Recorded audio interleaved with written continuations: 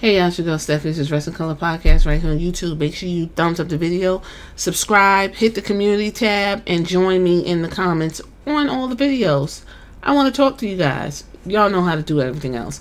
Let's dive into this. So, the next thing I want to kick off is the best return signee.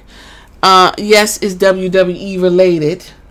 Although, if we want to do AEW, I guess I could give that to uh, Adam Copeland because you all were super excited that Adam Copeland left WWE and went over to AEW. Although that excitement has fizzled, he is still in a program with his uh, AKA brother, quote unquote.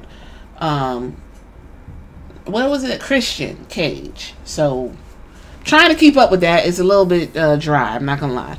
Over on the AEW side, I chose Nia Jax. Why did I chose Nia Jax? Well, if you look at all of the signees that have come back under Triple H, Nia Jax is the one that made the biggest um, impact. So let's just dive into that real quick. We had Tegan Knox get re-signed for what I don't know. We had Sarah Logan get re-signed, and she looks a hot, funky double mess over there with um Ivar. I don't even know why she's needed. Ivar is doing his thing, unless that's Ivan. Well, whatever. The, the big one from the uh, War Raiders. Okay, well they was called the War Raiders in NXT. Anyway, you know what I'm talking about. Um, Emma she ended up getting fired again. I don't even know what was that. That the Good Brothers ain't been on TV.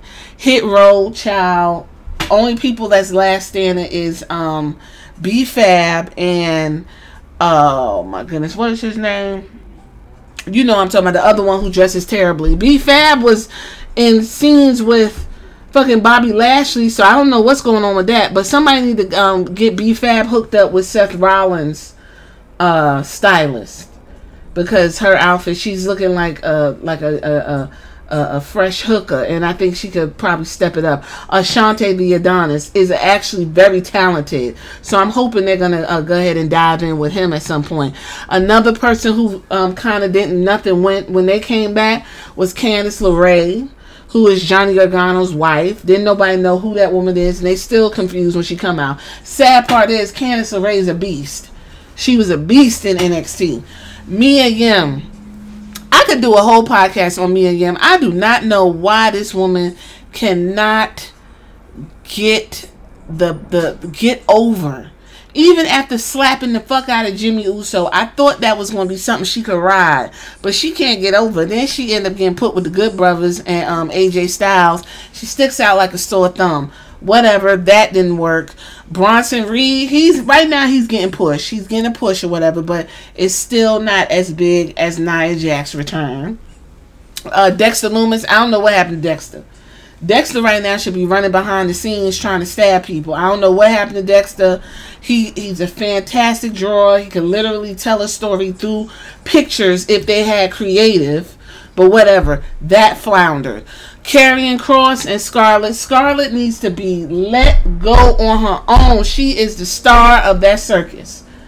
And once again, we got Karrion Kross in the background talking about he about to sizzle somebody in a TikTok child. Please, Karrion Kross, leave us alone. Johnny Gargano, I guess him and um uh Tommaso Ciampa's getting a little bit of sizzle, but they just ain't doing it. I don't know what it is.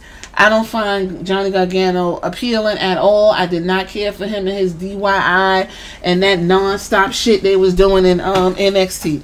But whatever, it wasn't as big as the impact as Nia Jax.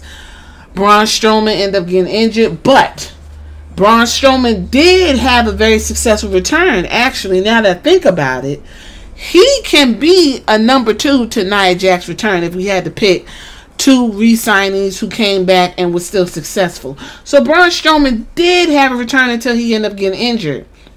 Dakota Kai cooking, she got injured. She's still on the damage damage control. Damage control is like simmering. They're not really hot. Uh, I mean, even with Kairi Sane coming back, and she came back all fucked up in Saudi Arabia, and that match with her and Bianca Belair, I was like, Bianca don't have bad matches, so clearly that was Kairi Sane's fault even her return is like, uh, you know, like, ah, it's not like a yeah, you know what I mean? Um, and then of course, you know, Bray Wyatt came back, and that was a little bit rough or whatever. But anyway, we're not going to harp on that. That's on the other video. Um, Nia Jax is my signee who came back and had the best uh, impact and fell right back into the fold. I think if I had to pick some factors on why it worked, it's because Nia is already known. Nia already has a, a nice, comfortable cushion of hate under her. She has a storyline and history with the company. Um, she's not vaccinated and uh, and is an idiot, and that's probably why these this next program she got with Becky Lynch is probably going to be pretty fantastic because people want to see her get her ass whooped. So that is my signee for return signees. I don't know why I said that. Y'all tell me what y'all think in the comments if you made it this far, or just simply answer the question later.